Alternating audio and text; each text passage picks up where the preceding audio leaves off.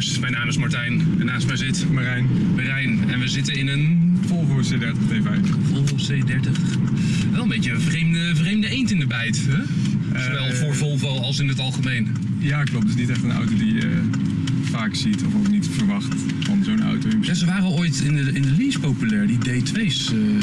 Ja, klopt. Die zie je inderdaad heel veel. De diesels en de, en de 1.8's zie je best wel. zie je vaker dan zoiets. Ik heb wel eens begrepen dat het ook deels on- ongevraagd was hoor, Volvo Nederland. Van hier, hier heb je heel veel van die dingen, verkoop maar. Succes ermee. Dat weet ik niet. Maar zeker, zeker als T5 zie je, ze- zie je ze zelden. Nee, je ziet ze inderdaad niet. eh, ja, als je op weet waar je op moet letten, dan, dan, dan, dan kan je ze wel herkennen. Maar over het algemeen. eh, Dubbel uitlaatje. Ja, precies. Maar die heeft een, een De D5 vijfcilinder diesels ook, ja. Ja, maar goed, die zie je al nog minder vaak in principe. Dan zie je nog vaak een T5. Er niet echt heel erg. eh, Maar waarom heb je er dan een? Ja. Juist daarom? Nou ja, ik ben altijd een beetje van de. Het heeft een beetje twee, eh, twee, twee redenen. Ik had eh, als allereerste auto, is niet eigenlijk helemaal van, volledig van mij, had ik met drie vrienden een V70 gekocht. Met drie vrienden en een V70. Ik kreeg Garbage Run. Inderdaad, exact.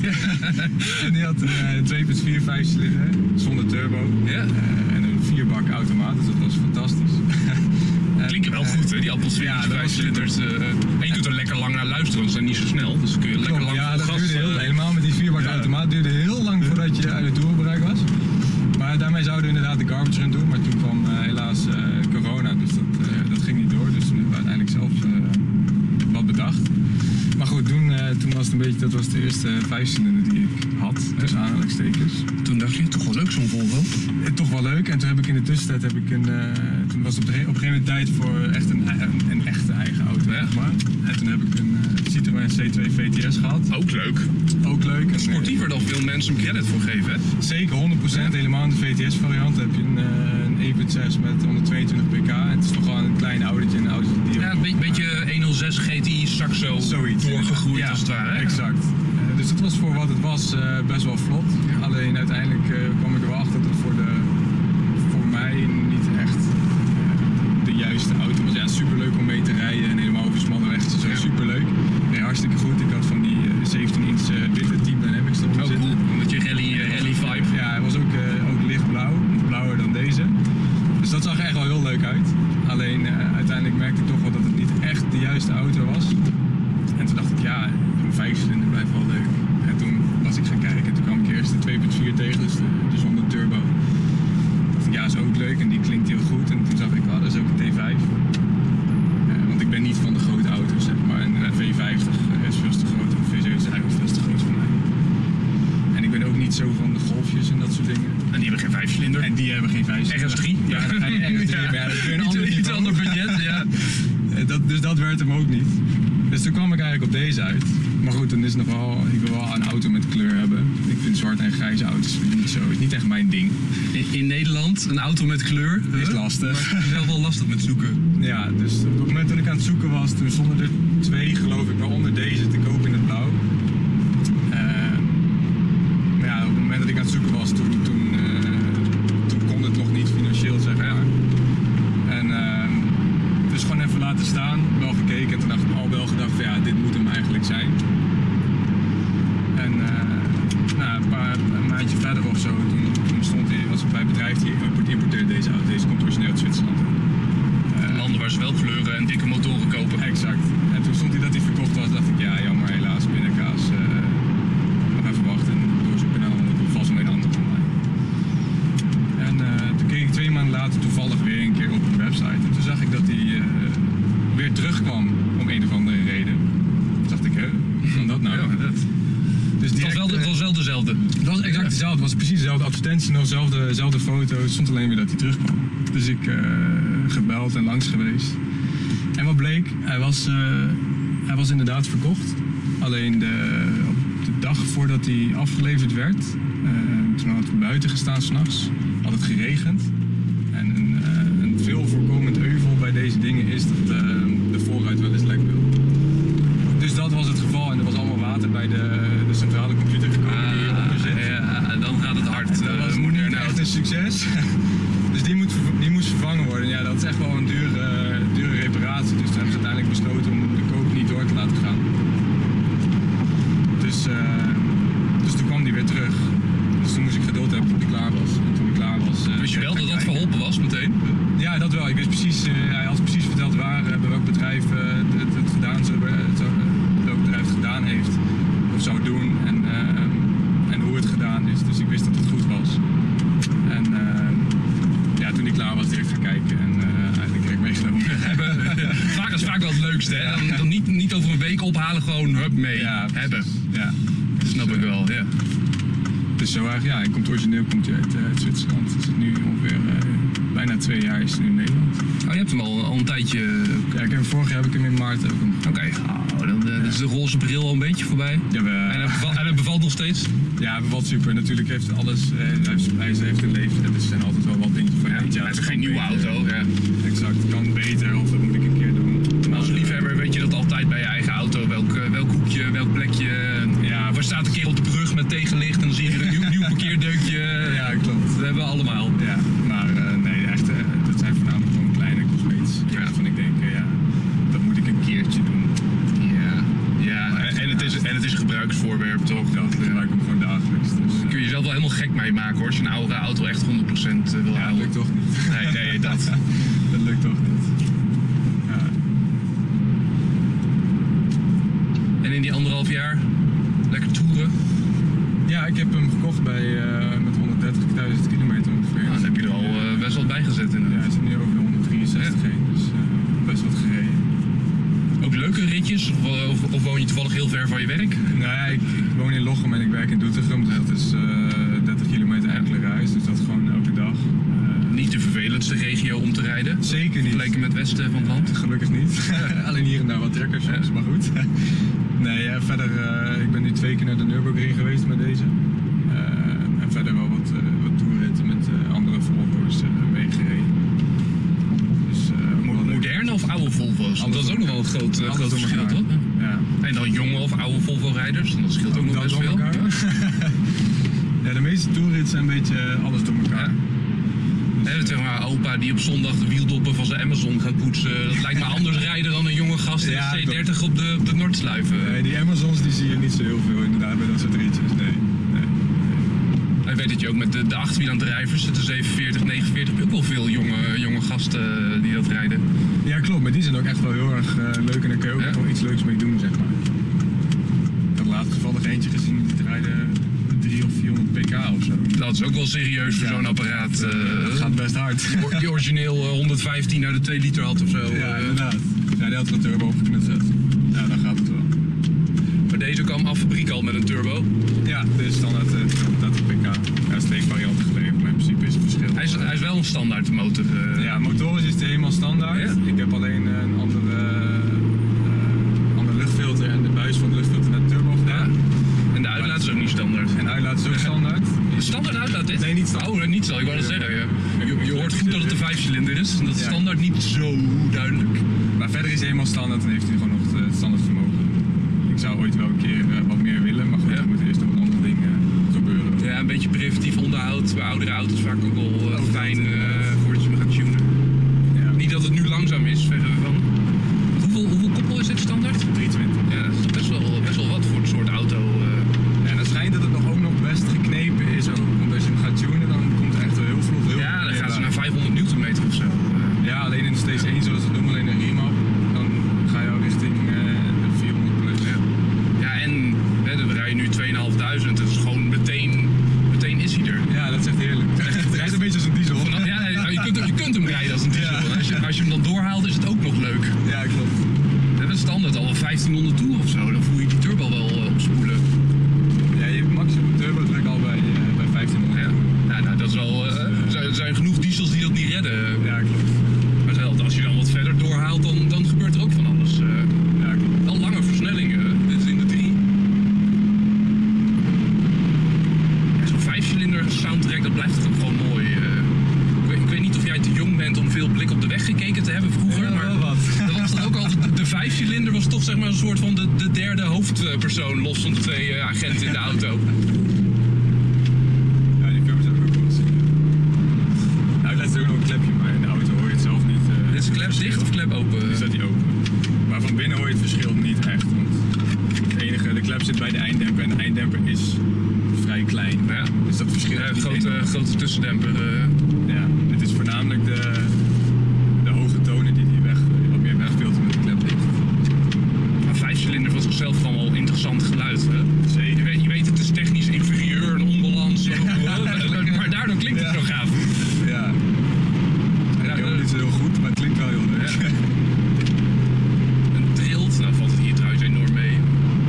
Het is gewoon Van, van nature een, een, eh, ja, een onevenwichtige motor, Ja, eh, ik voel motorconcept. altijd wat bij deze, bij deze motor. Maar voor een Volvo voelt hij eh, vrij sportief. eh. Ja, ik heb er ook een uh, veerpootbrug in ja. gezet. Nou merk ik persoonlijk met mijn dagelijkse kilometers niet het verschil. Nee, maar dat is vaak zo. Eh, ook een beetje voor de looks, want het Ja. ziet er ook gewoon vet uit. Ook Eh, belangrijk. Ja. Dus dat zou... Ja, dat zou niet De ophef was destijds van ja, maar het is eigenlijk gewoon een Ford. Ja, nou laten die nou toevallig Ja. vrij goed rijden. Dus dan heb je zeg maar Zweeds design, interessante eh, detailoplossingen en zo. Met een gave motor. En dan eh, de wegligging van een Ford. Nou, Ja, klopt. Prima, dat klinkt als een goede Dat deal bij elkaar. Dat is een beetje de samenvatting inderdaad. Dat nooit zo begrepen, dat commentaar eh, daarop. Ja, er zijn ook heel wat mensen die, eh, die vinden het ook een van de best of de betere rijdende Ja. Volvo's. Zeg maar, Ja, want het de nieuwe eigenlijk ook alweer minder, de, minder geïnspireerd. Ja. De, de, de- de nieuwste. Het zijn hele mooie auto's en doen het heel goed, maar ja, het is dan weer niet leuk om te rijden of zo. Ja, Bij dat is deze dan toch wel beter. eh. Ja, ook nog toevallig een lege dijk in onze beschikking. dat is nog, nog beter. Nou, droog. nou, ook nog. Het, eh, het, is ons, het is ons gegund vandaag. Maar op de ring, is het eh, leuk rijden hiermee? nou, nee, ik heb toen één keer op de ring gereden, maar Ja. toen zeker van de regen. Oh ja. Eh, terwijl ik ook nog eens eh, vreselijke banden eronder zitten, dus dat was continu... Dat was eh, wel een heel spannend ritje Dat was waarschijnlijk. heel Ja. spannend, dat wel. Maar Ja. het was continu onderstuur, overstuur, de hele tijd glijden. was wel heel, heel leuk, dat wel, maar eh, het was wel billig neuk. Ja, ja, code bruin, code bruin. Ja. Maar ik wil nog keertje, nu met, eh, nu met deze andere velgen en andere banden, ehm, nog een keertje eroverheen. Ja. En dan met droge weer ook het liefst. Ja, dat is wel lastig qua weer in de Eifel. Hè? Dat, Ja, eh, is niet te voorspellen. Dat Zelfs, is allemaal zelfs afwachten. in- tijdens een rondje kan het verschillend zijn. Dat het in het dal heel anders is dan boven de berg. eh. Ja, klopt. Dat is allemaal afwachten. Maar nu Volvo-man eh, voor het leven? Of eh, Nee, dat, mag, mag de eh, volgende ook weer een Citroën zijn? Ja, Citroën, weet ik niet. nee, ik heb op, mijn, eh, op het lijstje wat ik heb, heb ik of een eh RS3 TTRS. Ja. Dat vind ik wel heel vet. Vijfcilinder. Of, eh, inderdaad, vijfcilinder. Of een eh, BMW 135 of een 140. Ja. Dat, eh, iets meer, Ja, dat- iets met achterwielaandrijving. Dat, Ja, lijkt en, me me- en meer dan vet. vier cilinders ook. Ook dat inderdaad. Zeldzaam. eh, Ja. ja, ik heb er zelf een, als je misschien weet. En Ja, dat, eh, ja, dat, is, eh, dat is ook erg leuk. Ja. Klinkt al veel minder gaaf dan een vijfcilinder hoor. Zo'n zescilinder is juist een heel goed technisch concept. Ja, dat en, is lauw- lauw- lauw en zo, precies. En juist een beetje dat brullen van die vijfcilinder, dat maakt het ook wel weer interessant eh, akoestisch. Ja, klopt. Ja, je hebt Maar- een tijdje geleden ook een, eh, de auto van een vriend van mij gereden. Een eh, BMW 125. Oh ja, ja, ook eh, wel een leuke auto, maar ja, diesel is dan toch voor een, liefhebbersauto anders dan benzine. eh, Ja, klopt. Het heeft maar- het heeft ook veel, veel vermogen, veel koppel, maar het is toch anders dan een benzine lekker doorhalen. Dan kun je beter dit hebben, want dan heb je ook dat dieselkoppel. En Ja, ik dan, ben het met je eh, eens, alleen hij is niet met me eens. Ja, dan heb je echt verstokte dieselrijders. Nee, dat is dit toch wel. Ik grappig. Ik reed eerder vandaag toevallig in een Focus ST. eh, het, heel, het lijkt heel veel op elkaar, die auto's. eh, motor dan hoor. Ja, logisch, het is dezelfde motor, maar je, dezelfde trillingen, het schakelen voelt hetzelfde. ja. Toch voelt die Focus altijd wel wat ruiger. Dat is natuurlijk wel gewoon, alle rubbers zullen wel harder zijn en eh, in de koets zo eh, dingen anders gekozen. ja, het is ook bij de, helemaal in Engeland is dat, dan zie je dat, dat de focus eh, wat meer gewild is. In Ja. plaats van een C30 blijft altijd een beetje een auto voor... De auto voor je vader. Ja, of voor moeders of Ja. voor kappers. Of, Vind ik dat bij een C30 al, al veel minder dan een S40 of V50. Ja, dat wel, maar goed. dat blijft toch een hatchback. eh. Ja, het is wel, het is wel anders, maar goed, heel veel mensen vinden het toch een beetje een, eh, een vrouwenauto. ja. ja, ja. Nou is dat in de, in de 1.8 of in de dieselvariant ook misschien wel zo, maar... Ja, dat zeggen ze, zeggen ze ook van een Mini toch? En dan heb je ook gewoon JCW en een GP van zo. precies. Dus dat is toch weer anders. Als, als mensen de- daar, eh, daar, je daarop veroordelen, zegt dat meer over die mensen zelf, denk ik altijd maar. ja. Aan alle MX-5-rijders ooit. ja, ja, maar ja, je, hebt- je hebt ook van die auto's die, eh, die de naam hebben. eh, leuk, leuk voor je. Dan koop jij hem toch lekker niet, denkt en altijd Ja, leuk. Maar ik vind wel, dit bewijst alweer. eh, Eigenlijk gewoon een grote motor maakt iedere auto wel interessant. Zeker Eh, als je dit inderdaad als 1,8 of 2 liter, dan, ja, dan Ja, is dat is het ook eh, nog vanuit de niks- brand. Ja, dat was ook atmosferisch toen natuurlijk. Ja, klopt. En dan is het ook niks bijzonders. Zo'n motor, dat maakt zo'n auto dan wel echt. En je hebt ook nog de 2.4, dat is dan zonder turbo. Ja, En die heeft dan natuurlijk minder pk, die heeft 170 pk geloof ik. Lekker monster. Ja, oh nee, precies. oh nee, ook niet. Maar die klinkt wel heel erg Ja. lekker. Die klinkt beter dan deze. Maar, is wel, maar die is wel net zo snel als een 2 liter en verbruikt hetzelfde als deze. Ja, correct. Ja, dit is een van de zuiniger eigenlijk. Als je een 1.8 hebt, dan die kan meestal verbruikt die meer dan deze. Want ik ben met deze. En dat mij ook nog vijf versnellingen zelfs, die eh Ja, dat. Ja. Ja, als je een automaat hebt, eh, heb je ook nog eens vijf versnellingen. De Geartronic. Ja, daar ben ik niet zo fan van. Niet zo'n hele, niet zo'n hele denderende automaat volgens mij. Nee, eh, niet toen. enorm. maar met deze, ik rijd nu 8,8 liter op 100 kilometer. Nou, dat vind ik wel netjes. eh, van 2,5 liter. Ja, Maar het is wel een beetje, altijd, het is een beetje het hot rod concept. We nemen een kleine koets en dan doen we een grote motor in. En dan, dan is het in één keer interessant. eh. ja, klopt. dat is bij deze ook al eh, goed gelukt inderdaad. Ik vind dat dashboard, dat blijft... eh, heb je voordeel dat je niet dat eh, klapscherm met MS-DOS navigatie hebt. Ja, het dat ziet er altijd heel, heel ouderwets uit. Ja, dat is echt waardeloos. En het schermpje gaat ook wel Ja. eh, regelmatig Klopt, ja. kapot. Dat dat is ik, heb, ja, ik heb een V50 gehad, dat was ook het scherm kapot. Dat heb ik gerepareerd. Daar kon je zo'n setje voor kopen. Een nieuw tandwieltje. Dat heb ik hem één keer open gedaan. Ja, doet het en weer dicht. Nee, dat niet. Maar Oh. ja, dan zie je dat je ergens, op, ergens midden in een weiland rijdt. Want zo zagen de wegen eruit toen die Ja. kaart voor het laatst geüpdate was. Nou, laat maar dan. Je hebt het tegenwoordig heeft wel, eh, ik zag toevallig van de week iemand in de C30 eh, groep, die had er eh, met een Raspberry Berry Pi, had hij het omgebouwd dat er een Apple CarPlay Oh ja, nou, dat, dat is inderdaad. CarPlay is wel ideaal voor oude auto's. het, ziet er wel heel netjes uit. Dan, ja. ja, dat is wel mooi inderdaad. Het is gewoon geïntegreerd, al je favoriete apps hebt. Ja. Dan wel. Er zijn ook heel veel andere kitjes om het of hier in het dashboard te krijgen of bij die ventilatoren. En dan denk ik van ja, vind ik ook niks. Nee, maar ik vind gewoon dat dashboard eh, aan zich met die watervalmiddenconsole, en zeker Ja. jij met dat printje erin. Ja, dat eigenlijk- design. Het ziet er echt niet, eh, ziet er niet oud uit. eh. Nee, klopt. Ik vind dat wel ook dat die achter ook gewoon open Ja. is. Wanneer kwamen de eerste op de markt? Zeg 20 jaar geleden, de, de S40 dan. Zoiets, ja. Ja, dus het ziet er niet 20 jaar oud uit. Dat Nee. wel, is wel goed gedaan. Ja, lachen. Ben je, ben je een beetje aan het neuzen naar een opvolger? Altijd, als Ja, autoliefhebber. Ja, een natuurlijk. rondje advertentiesites. Eh, dat wel, maar niet echt eh, serieus. Ik wil eerst eh, ja, van deze nog eh, genieten. Er zijn nog genoeg dingen die ik eventueel zou willen doen. ja, wat heb je op het lijstje staan? Nou ja, ik zou ooit wel een keer richting de 300 pk willen. Ja. Maar goed, dan moet ik eerst een andere intercooler nemen. Een andere downpipe. Ja. En dat moet natuurlijk getuned worden. Eh, ik zou het een keer een schroefzetter onder willen hebben. Eh, maar ja, goed, ik heb ook net een huis gekocht. Dus de prioriteit ligt ook een leuke momenteel, hobby, maar eh, schijnt ook wel duur te zijn. Ja, de prioriteit ligt momenteel heel even ergens anders. Als je gaat klussen in huis, je gaat naar de gamma voor een roltape en dan doe je drie dingen in je karretje en dan is het 100 euro bij de kassa. Ja, dat is precies. gewoon altijd als je bezig bent in eh, huis. Dus ik denk dat het de, ja, de wat onderhoudsdingetjes, dat die eh, moeten natuurlijk wel gewoon. Maar dat Ja. verder de, de leuke dingetjes wat... eh, wat Nee, meer dat hè, dat dat onderhoud dan eerst moet. eh. Ja, maar goed. Ook zo is die leuk. Ja, absoluut. absoluut. Ja.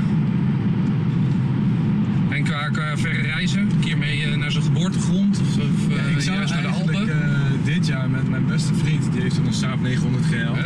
Dus Oh, uit, is dat eh, Zweedse fitty? Of? Nee, dat valt mee. dat valt mee. Maar we hadden het idee om dit jaar een roadtrip met een van de twee auto's naar, eh, naar Zweden te doen. Ja. Maar goed, dat, eh, dat ging even niet door. Maar dat staat nog steeds op de lijst om een keertje te doen. Dus eh, dat gaat sowieso een keer gebeuren. En ook naar het Volvo Museum natuurlijk. En, Ja, ik geloof dat het dat is helemaal gaan veranderen, zag ik iemand. het Volvo Museum Oh, ja? wordt nu Volvo World of zo. Misschien iets minder museum, iets meer pretpark. Beetje eh, Disneyland. Ja. Brand awareness noemen ze dat tegenwoordig. Ja. Nou ja, ik ben benieuwd. Ja. Maar dat gaat nog een keer gebeuren. Ja, is wel gaaf om dan met je eigen Volvo naar eh, Zweden, naar de Volvo fabriek. Ja, exact. Het is toch een soort bedevaart of zo, als autogekkie eh met je auto. Ja. Een fotootje daar maken. Precies. Vast ergens zo'n groot bord met een Volvo logo. eh. Ja, 100% Dus ja, dat sowieso nog een keer. Maar verder niet echt.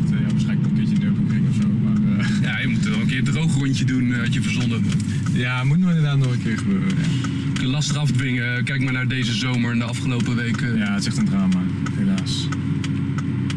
Ja, komende week wordt het goed is beter, dus dat scheelt. Nou, snel dit weekend. Ja. dat denk, Morgen weg. Denkt, waarschijnlijk iedereen, dus het ook meteen hartstikke druk. denk ik. Ja, dat is ook niet ideaal als het super druk is. Nee, eigenlijk dan een, een doordeweekse avond of zo. Maar dan is het ook weer niet zo leuk om erheen te gaan. Ja, om voor twee uur zitten heen te Nee. rijden vind ik ook weer een beetje eh, Het is toch ook de hele dag dat je daar bent en de allerlei gave auto's uit allerlei verschillende landen rondrijden is ook altijd heel gaaf. Ja, inderdaad. En überhaupt kijken langs de baan. Bijzonder, bijzonder plekje blijft het. Ja, zeker weten. En dan is de rit erheen ook niet vervelend met deze auto. Nee, we hadden de vorige keer dat we heen gingen, hadden we een of andere eh, eh, weg. Begonnen we ergens in, in de buurt van Maastricht. Dan gingen we vanaf daar dan naar de ring.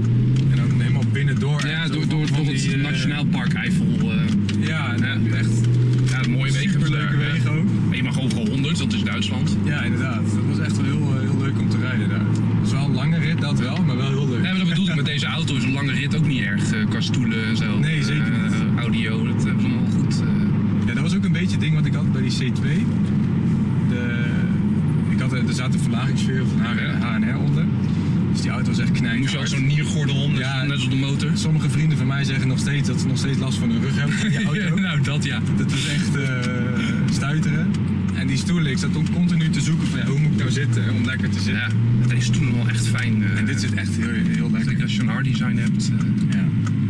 En stoelverwarming, dat is Ja. ook wel een mooi. Ja, en Scandinavische stoelverwarming. Dus hoger dan stand 1 hoeft eigenlijk nooit. Nee, nee, nee, nee. Kun, je, kun je tosties bakken, zeg maar. is wel lekker in de winter. nou, inderdaad. Even, even door dat leer heen bakken. Ja, precies. Ja, dat is toch wel goed. Ja, toen Volvo nog eh, gave dingen deed. hè? Nu, eh, nu verkopen ze niks meer zonder stekker in Nederland. eh. Nee, en de stations gaan ook weg. ja. Nou, in ieder geval in, in Engeland. Hè? Dat werd opgepikt overal. Het Engelse markt stoppen ze ermee. Maar het, het is natuurlijk gewoon verdwijnt. Hetzelfde als de V90cc.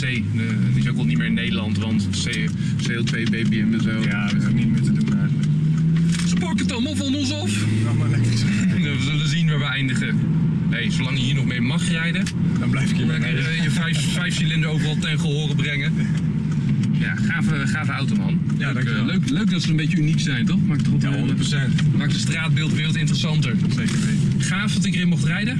Ik, hoop, eh, ik hoop dat die ringtrip binnenkort droger gaat verlopen voor je. Ik ook. Jullie bedankt voor het kijken en eh, tot de volgende keer. Hoi hoi. Doei.